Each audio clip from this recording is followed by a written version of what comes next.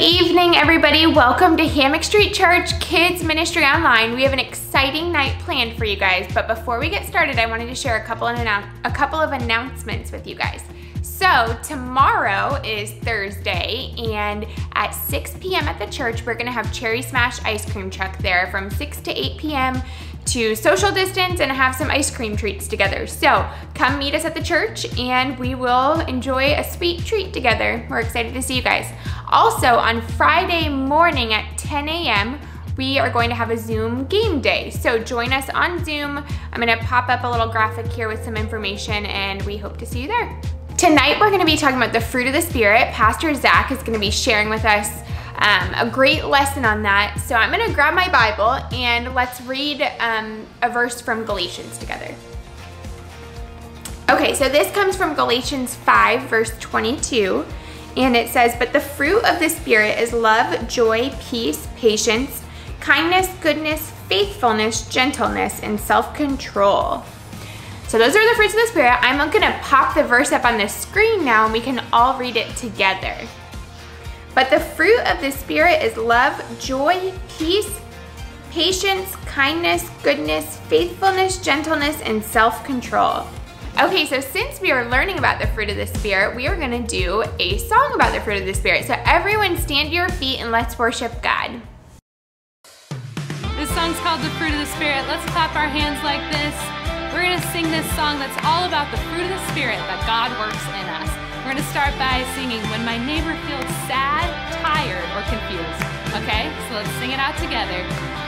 Here we go. When my neighbor looks sad, tired, or confused, when a friend is mad or said something rude, God gave us some seeds that can grow into fruit. A life full of love grace and truth. I got love, joy, peace. Good job. Let's sing patience. Patience, kindness, goodness. All right, you guys sing faithfulness. Faithfulness, gentleness, and self-control. God's love shown to all the world. Good job, you guys. All right, let's clap our hands again. And we're going to sing that all over when my neighbor looks sad, tired, or confused, okay? Here we go. When my neighbor looks sad, tired or confused when a friend is mad or said something rude. God gave us some seeds that can grow into fruit.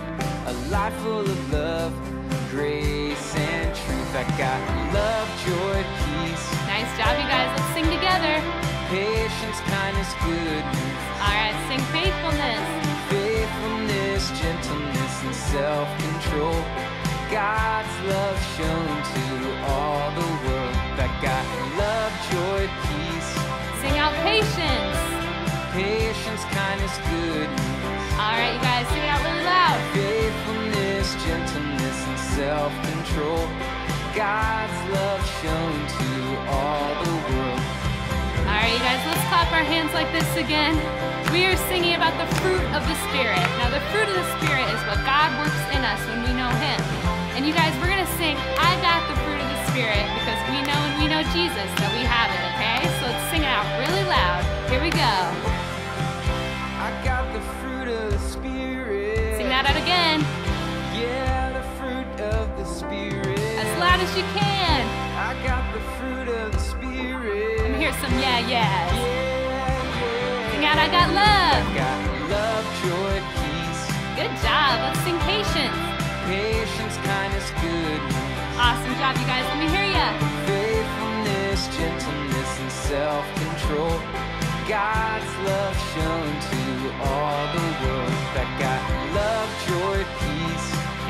guys. Sing patience. Patience, kindness, goodness. All right, sing faithfulness. Faithfulness, gentleness, and self-control.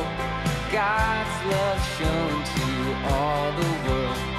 God's love shown to all the world.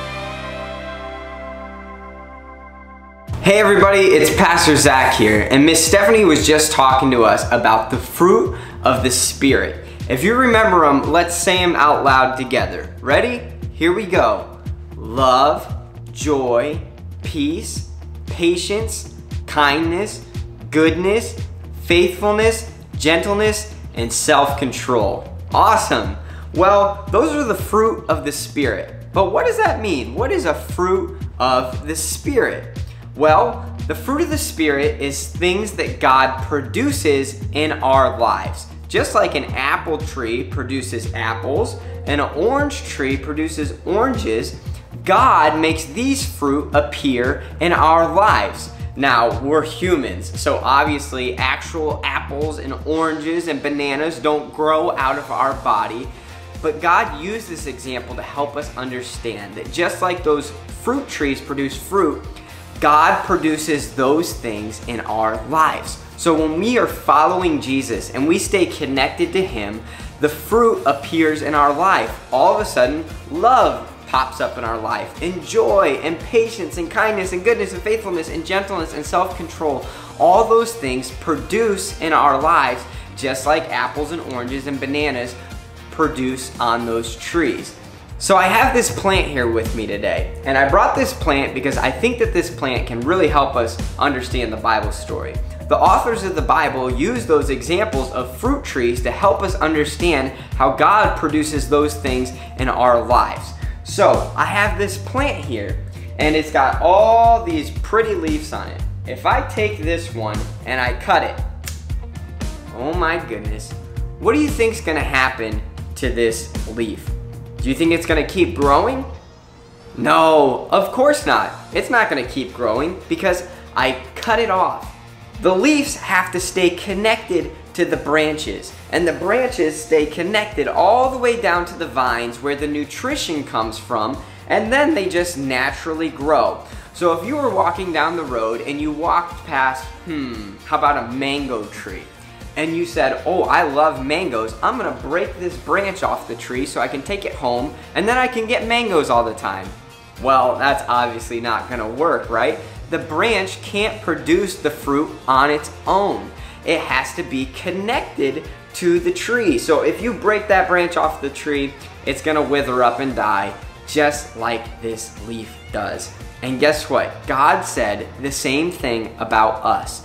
The fruit of the Spirit is love, joy, peace, patience, kindness, goodness, faithfulness, gentleness, and self control. And the way that those things appear in our life is by staying connected to God, just like a branch stays connected to a tree. It's not something that you and I have to work really hard to try and do. I don't have to say, oh, I need to be patient. I need to try really, really, really, really hard. No, that's not how a, a branch produces fruit. The mango branch doesn't say, oh, I need to work really hard and I'm gonna make a mango appear. Or the orange branch doesn't say, I'm gonna work really hard and I'm gonna make an orange appear. No, all the branch does is stay connected to the tree. And then guess what? The oranges just produce off of the branch. And Jesus tells us that we are the branches and he is the one that produces the fruit in our lives. So we don't have to try really hard to produce love, joy, peace, patience, kindness, goodness, faithfulness, gentleness, and self control. We just have to stay connected to God and He'll produce those things in our lives. In John 15, verse 4 and 5, Jesus said this Remain in me, and I also remain in you. No branch can bear fruit by itself, but it must remain in the vine. Neither can you bear fruit unless you remain in me. I am the vine, you are the branches. If you remain in me and I in you, you will bear much fruit. But apart from me, you can do nothing. See, Jesus said that we are a branch, and God can produce these fruits through our lives when we stay connected to Him because He is the source of love and joy and peace and kindness and goodness and faithfulness and gentleness and self control. He is the source of all of those things. So all we have to do is stay connected to Him. But guess what? He also said that apart from Him, we can do nothing. If we are disconnected from Jesus, we can't produce those things on our own. But the good news is if we stay connected to Him, he can produce those things in your life. How awesome is that? Do you want to see love, joy, peace, patience, kindness, goodness, faithfulness, gentleness, and self control appear in your life, the good news is you don't have to work really, really hard to try and make it happen. You just have to stay connected to Jesus, and He will produce those fruits in your life. Thank you so much, Pastor Zach, for sharing that with us. What a cool story. I have one more person that wants to share something with you guys. Okay, Ace, tell me about your picture you drew. So what this is, this is a tree. So God is down here and you're all these branches. And so this is love, joy, peace, patience, kindness, goodness, faithfulness, self-control. And then you are all these branches.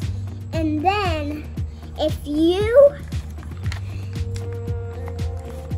rip one of these off, so when you break it off, it dies the fruit. So it's the so if and if you go back to God, God gives you the power to have the fruit of the spirit. And then oh. if you rip off, those fruits will die. So then you won't have love, joy, peace, patience, kindness, goodness, faithfulness, and self-control. What about gentleness? Faithful, gentleness, and self Or not faithfulness or gentleness.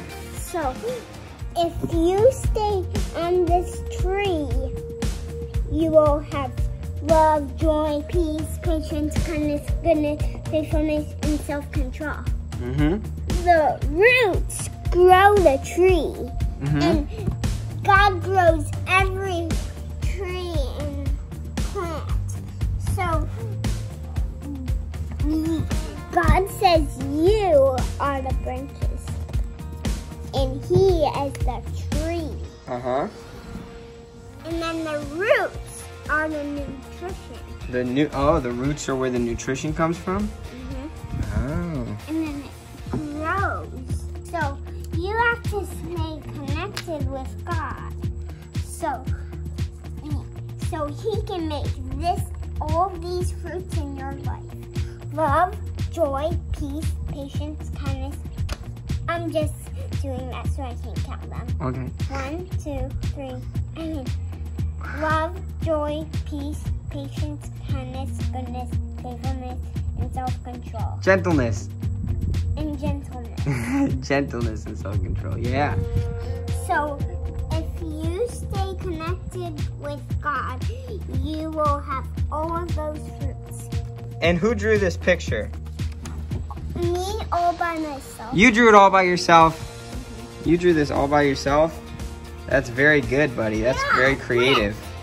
Thank you, Ace, so much for sharing that with us. See, you guys, even a four-year-old can get this lesson. I'm sure you guys can too. So I just want to leave you guys with this one little question. How do you know um, that an apple tree is an apple tree when you see it? And how do you know that an orange tree is an orange tree when you see it?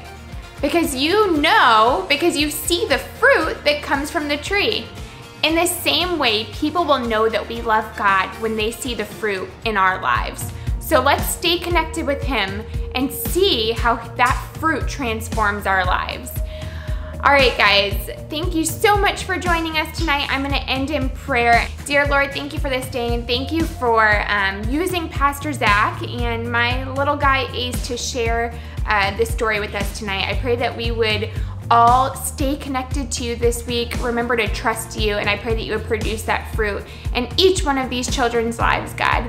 I pray that we have a good week and that we would see everyone at our events this week. In your name I pray, amen.